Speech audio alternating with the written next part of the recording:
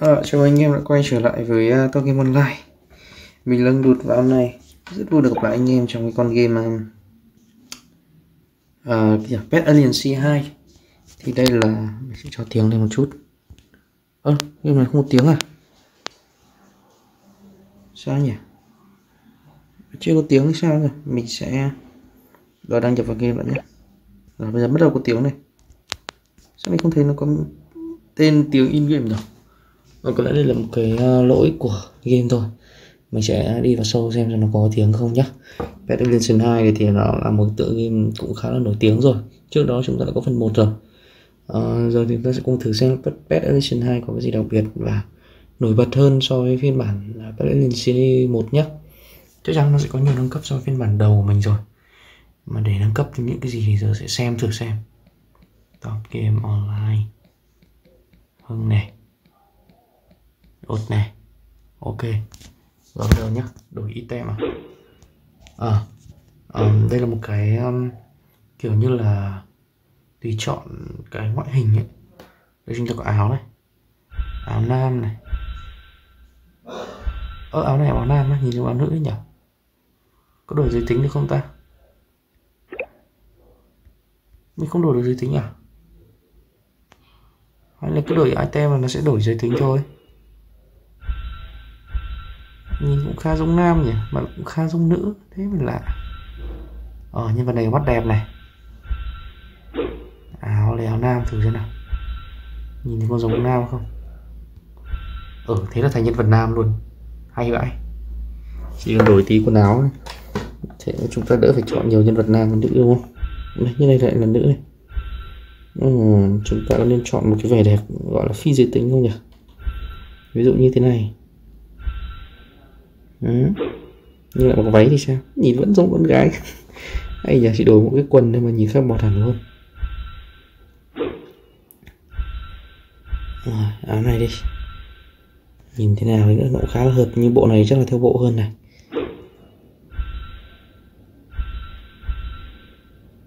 Rồi, mặt. Nhìn có hình nghịch hơn đấy nhỉ? À mình sẽ lấy nhân vật này rồi bước vào. Đây là một tựa game ở ngân cận thờ ti tiến sĩ France nói liên minh mang đến chúng ta đợt pet mới. Ừ. Agency ở trong cái uh, Pet Agency này cũng nghĩa là liên minh và Pet Agency nghĩa là liên minh thú cưng đúng không? À, cũng có thể ra qua thám hiểm rồi nhanh đi chỗ tiến sĩ nào.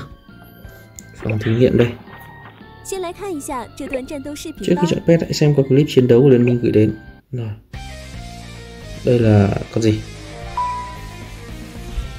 Level 60 SS SS level 70 cộng 35 Ủa một hit à? Con thứ hai cũng thế, chắc cũng một hit thôi. À. Khác hệ à? Ủa vẫn là một hit. Đây chắc hy vọng mỗi con này. Còn ba con mang một con của nó.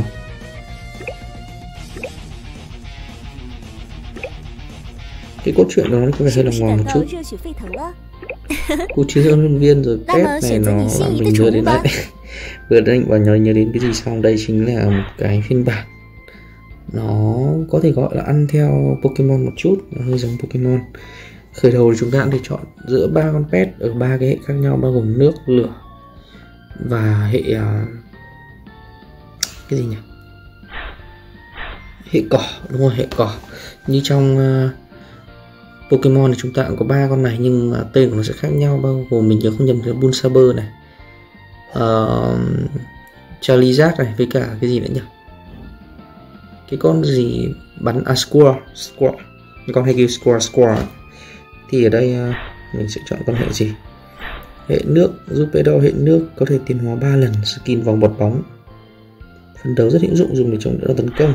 Đây là tích này à đây là ba con phải ra trận vừa nãy đúng không? bạn không giao trận vừa nãy với cái hình thái cuối cùng đúng không? Và như con này là cái con giết được cái con boss này.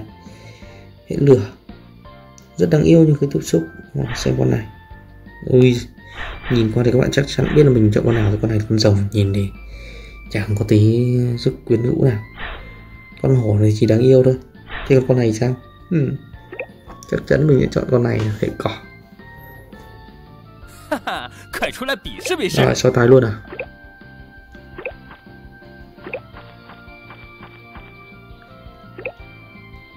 đầu qua nhau với ai.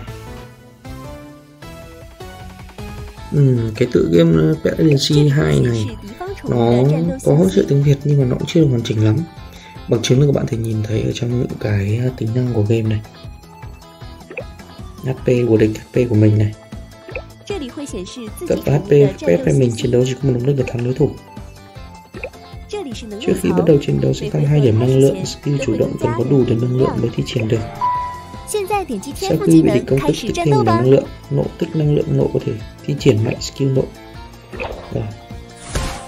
cái này mình nghĩ đó là phi diệt à, phóng lá. Ấy. nhưng mà nó đang bị à, việt hóa nó hơi mình cảm giác như kiểu những cái từ nào mà có xấu hoặc là những từ nào thuộc về tiếng việt thì nó sẽ không biết được. Ví dụ như là phi diệt đao này thì mình thấy cảm giác như kiểu thiếu mất chữ đờ chữ e nó nặng này. Tức là những từ nào những chữ nào thuộc phạm trù tiếng Việt ấy. Còn tiếng Anh, những từ những chữ theo bảng alphabet thì nó vẫn sẽ được thể hiện một cách đầy đủ ở đây. Mình nghĩ là như vậy. Để xem có phải không nhé rồi. Hạt ký sinh, đúng rồi. Nó sẽ mất đi những cái từ tiếng Việt. Nó là chữ à, a nặng ạ này. Y sắc ý này. Để nó sẽ không thành hạt ký sinh được. Rồi chúng ta sẽ phi diệp một. Chính xác là phi diệp luôn à, đây là skill uh, 可以 skill 放 độ 奥 đây 义技能了呢，快点击看看威力吧！ phi diệp đao kinh chưa vẫn còn máu rồi 这波奥义我给九十九分，剩下的一分不给你，怕你骄傲。 rồi tức là nó sẽ cho mình 99 điểm chứ không cho 100 điểm mình sợ mình kiêu ngạo hay bet logic nha tua đi này mình sẽ tập trung vào trải nghiệm cái gameplay của nó hơn nhé. Đây, Lost Forest à, khu rừng mất tích à? Ừ, di chuyển đến kiểu này. Tìm kiếm. À chỗ này có thể loại trừ chỗ này ra lại loại trừ. À tức là có thể đó là cái màn ẩn các bạn ấn vào đây các bạn sẽ tìm được những vật phẩm rất thú vị. Nó đi đâu? Ở đây xem nào ừ? đừng nói chuyện mình à? À tự đừng nói chuyện với nhau luôn. Này nhìn kinh khủng vậy?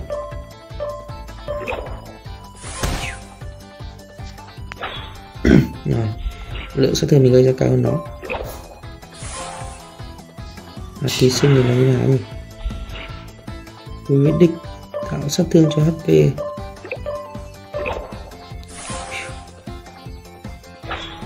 bao giờ mới đủ nộ đây. Phát nữa đủ nộ này. À, không được hay vậy. Rồi, hạt ký sinh luôn.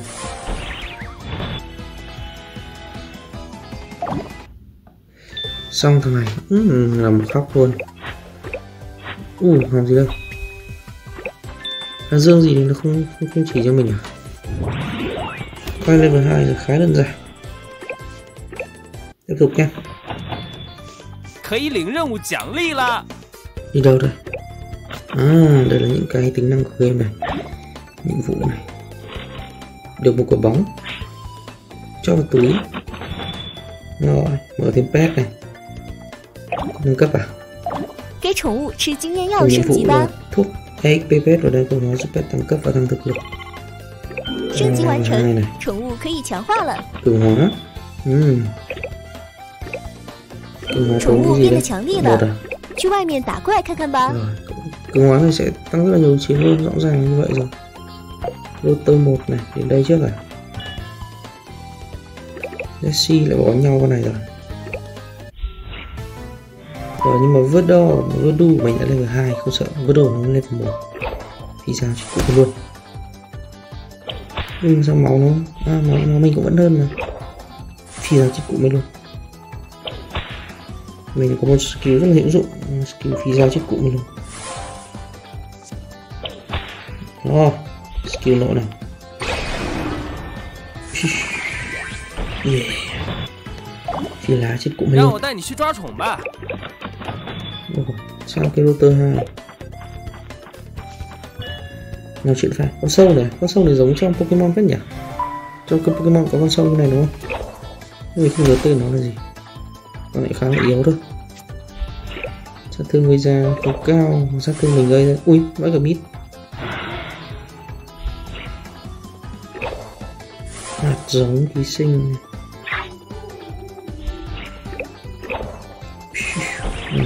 Cứ tưởng nó sẽ mít được nhiều cơ. Thì lực pet loại yếu đi sẽ vào trạng thái có thể bắt. Số lần bắt pet còn lại hiển thị ở phía trên bên trái sẽ chọn pet bôn muốn bắt. Pokemon à? à? Cũng gọi là Pokemon à, rồi tỷ lệ bắt của Pokemon khá thấp chỉ bao phần trăm thôi. Yeah, bắt được một con sâu Cũng gọi là Pokemon luôn. Lượn nhỉ? Cậu khai quá lộ liễu quá. Rồi, ờ, bắt thêm pet nè Rồi, từ bây giờ mình sẽ đi một mình để lại sò đây. Secret pet thường để thỏa cái gì là cái gì nhá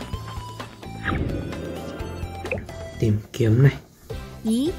Người ra gần quá nhưng mà tất nhiên ta sẽ không ra rồi cái gì đây có cây chắn ngang Ui, pet này tấm rất ngon vậy 树只有带斩击哇技能的宠物才能 pet 砍 thật khỏe 掉 thế 哦。 chơi nào một con A một con B đây xem nào chiến level 2 Nemo ừ, khác à mình bị nó khác hay mình khác nó ta à mình khác nó đang gây rất là cao. Làm phát hạt ký sinh à? Làm một cái phi diệp đam đi này khách này. Trứng gì đây? Máy vặn trứng á? Máy vặn trứng làm gì nhỉ mình sẽ vào xem cái máy vặn trứng này. 点 Được, 进 có 去 tính 看看 vặn 吧。 trứng này à miễn phí ra một bóng pokeball luôn 5 cái máy vận chuyển kim cương là một cách để nhận được pet nhanh không tin có thể thử một lần Thích này công nghệ 3 miễn phí Ồ, nhận được panda. Panda level A là wow. cái con vừa nãy mình nhìn thấy kia nó. Nó khá là mạnh. Sao nhận này. X ra này. Rồi, xong rồi nó sẽ vào pet này. Hóa động chủng thấu dạng, thì hoàn vị trí ba. Xong này ao. Panda vào. Ray icon pet sẽ đổi từ tự pet ra trận. Đâu. Đưa pet lực chiến mạnh ra trước. Mình chưa cho panda ra trước thì phải. Dạ, Lại ấn con này không được đánh khói dã ngoại à? Dạ, cho panda ra. Level 1 nó 213 thôi. Ủa anh thử phát xem. Nào Chạm kích nha. Skill này là cái gì đấy kiếm vũ à? Bản thân tăng 30 trăm một công. Rồi bốc công rồi mình nhấn này. Duy trì mấy lượt đấy bốn lượt cơ ba phát đấm u uh, 90 đam mình thì còn thêm một phát uh, chấm kích nữa thì đi luôn à khá là khỏe nhở, mình sẽ nâng cấp cho panda nhé. panda level a panda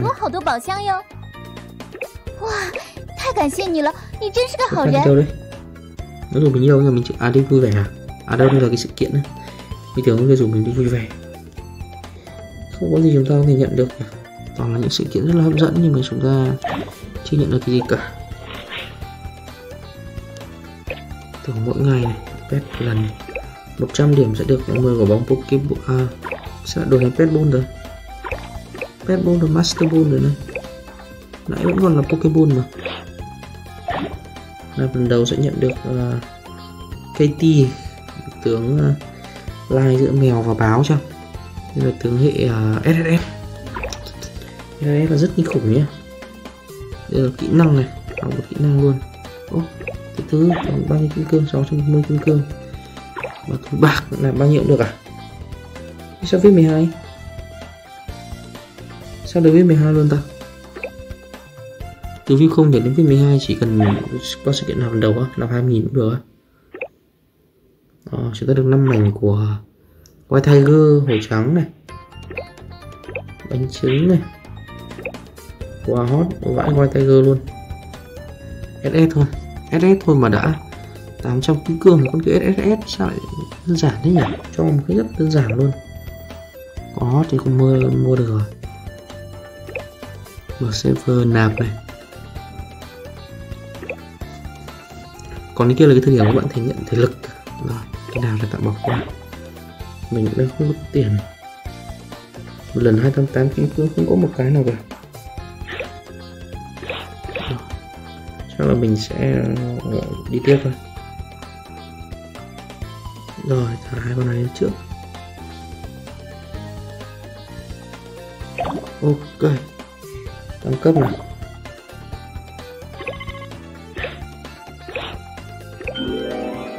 ố, mình tăng lên level hai này. Mình tăng thêm được à? Cường hóa luôn cho khỏe đi đấm nhau cho nó hăng. Rồi, bây giờ mình sẽ đi đấm nhau đấm như nào đây thằng nào giờ giờ đầu ra cho chậm đấm đây thứ gì đây 100 kim cương gì nữa đây 320 kim cương khá là nhiều kim cương rồi nhỉ tiếp tục hành trình của chúng ta tìm kiếm này bao giờ mới mở được auto nhỉ chặt cây trước 快点快点，把这些树都砍了！ ăn được cái này không Ờ, à, chặt được luôn. Chặt cây thử xem nào. Quay điểm, quay điểm, bà cái xu đâu cản lợ Chặt luôn cây. Nhận được một xương. Ui không bổ đồng đá này. Không điểm gì nhỉ? Ui à lên tầng. Còn mình chưa xong hết ở tầng dưới Mình sẽ xuống tầng dưới đã.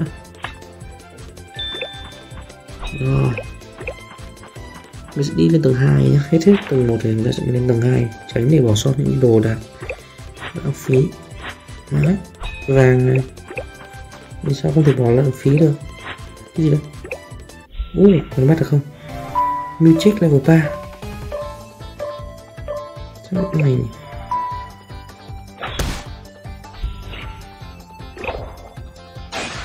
Mid á. Tỷ lệ mid cao vậy.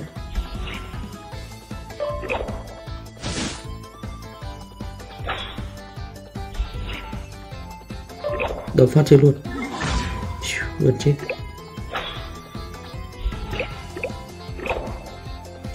Ừ, Đơn giản. Bắt con này. Bắt con gà. Rồi đến lúc nhà mà bắt con gà. Bắt con gà mà nó chạy ra đứng rồi và cứ mỗi lần bắt xì là mình sẽ được tăng tỷ lệ bắt thành công của mỗi quả bóng lên ui phải. Bắt nốt phần này không được nữa thôi nhé. Không chơi nhé. Bắt đi. Thôi không chờ bắt phát bắt đầu tiên xịt luôn. Bắt cả ba quả bóng. Đen mà ui cái thằng này luôn. Thằng này giống mình ấy nhỉ?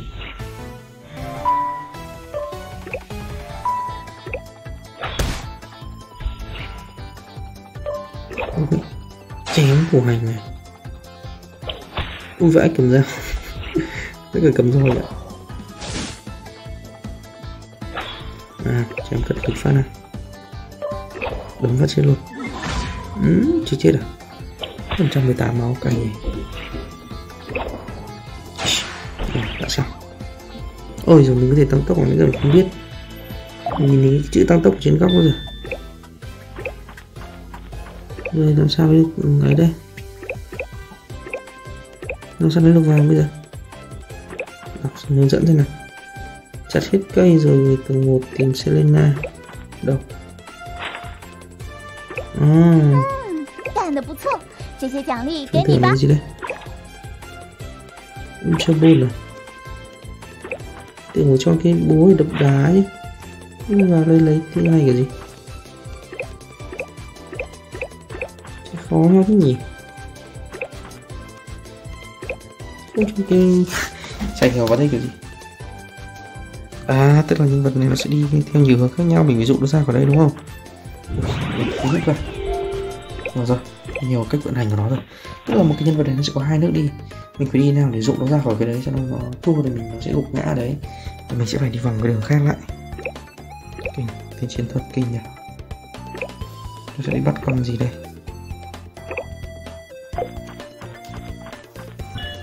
Đây là hai cái con gấu mà chúng ta gặp ở đầu đúng không? Nó gấu. Mình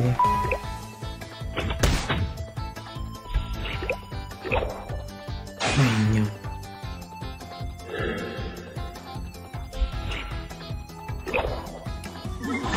mày nhầm này thế chúng ta vẫn chưa được bút cái phải chặt cái bút nữa. Đâm thế là chết rồi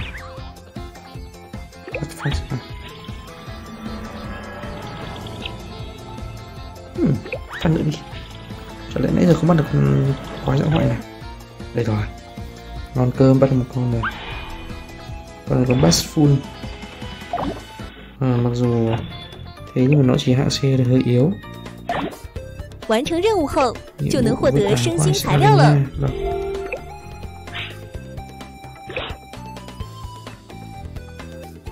tiếp sang đây là rotor thứ mấy rồi rotor 6 rồi cơ mà đây hòm gì đây Phun nước là tăng kinh nghiệm luôn. Đi đâu nữa vậy? À tương neo tương neo là ngầm đi nhỉ? Sao lại thành như này? Không phải ừ được ngầm auto đâu nhỉ? Tăng tốc đâu?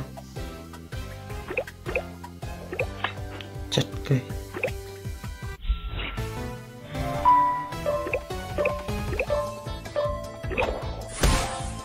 Hmm? À, mình sẽ có thể bỏ qua sau ba turn đúng không? Thắng hay thua lúc cuối sẽ biết. Wow. bắt luôn. Con này loại B mà không mất hơi phí. Hay quá. Bắt là một con pet loại B rồi mình sẽ cho nó vào trong đội hình.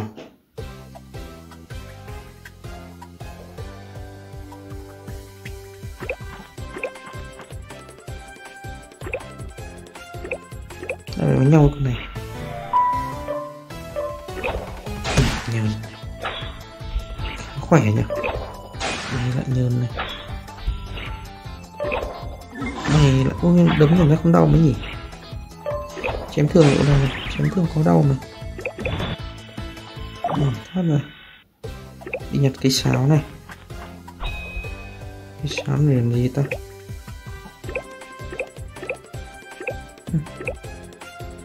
sao mình không nhìn được bản đồ là biết là cái sáo này làm gì nhỉ chỉ biết là giờ lên tầng 2 này 告示板经常有很多提示，每 Yên 需要 tâm 多 đấy, 看 dùng cái 看。 con gì hay ngủ trong Pokemon nhé dùng cây sao đánh thức quái vật dùng đá trên đường lớp hồ lớn ừ. Rồi. thổi sáo cho con này dậy nào Cho nó đứng dậy rồi đần hết phát ừ, đơn giản lại ăn uh, su này. Dương này. Tôi ăn bé này nó đã là xong. Chiến anh không đùa. Anh đánh chiến đánh con này cũng giống một con trong Pokemon luôn. Toàn những con là ná nhau nhỉ. Nên là làm một tự game này mình thấy, ô, hai tướng lên cơ à hai con pet lên cơ ra con nào tôi đấm con đấy. Đơn giản rồi xong cửa này. Nhiều, nhiều kiểu chỉ thuật phết nhỉ. Mình đang có 120 vàng sẽ là bạn chứng thử cho bạn xem thích nhé. Vàng mình không có này. Có thêm một phiếu này. mình của Ragus chữ A thôi. XA à, 258 sẽ được gì mà cũng chỉ là mảnh thôi rồi vừa rồi chúng ta lại cùng trải nghiệm cái tựa game Mad C2 à, một tựa game đã có khá nhiều nâng cấp so với phiên bản 1 hơn nữa thì tựa game này lại chơi theo màn hình dọc như thật mình thấy nó rất là dễ chơi. Chỉ bằng một tay nữa đã có thể gọi là hoàn thiện nhiều rất là nhiều những cái giai đoạn khác nhau của tựa game này. Thêm vào đó à, một điều nữa đó là à, tựa game này có một cái gameplay rất là phong phú này. Một cái bản đồ rất là rộng này ngoài ra lại còn là triệu hồi pet rồi à, đồ giám này. Mình không biết có, đấu trường không mà chắc là cũng sẽ có thôi. Ừ. Còn ngoài ra thì cái tựa game này nó ảnh hưởng khá nhiều của cái tựa game Pokemon. Nên là chúng ta cũng sẽ không đánh giá gì nhiều về tựa game này nhá. Trên con điểm của mình thì tựa game này mình cho 6,5 điểm. Tại vì lối chơi của nó khá đơn giản và cũng không có nhiều gì phức tạp lắm so với so với um, các tựa game trên thân thời điểm hiện tại. Thêm cái nó bị ảnh hưởng hơi nhiều bởi Pokemon. Nên là mình cũng không có cảm hứng nó chơi được mạnh mẽ như của Pokemon được. Rồi bây giờ mình sẽ kết thúc clip review game ờ, Legacy 2 tại đây. Cảm ơn các bạn quan tâm theo dõi và hẹn gặp lại trong những clip sau nhé. Tạm biệt tất cả mọi người.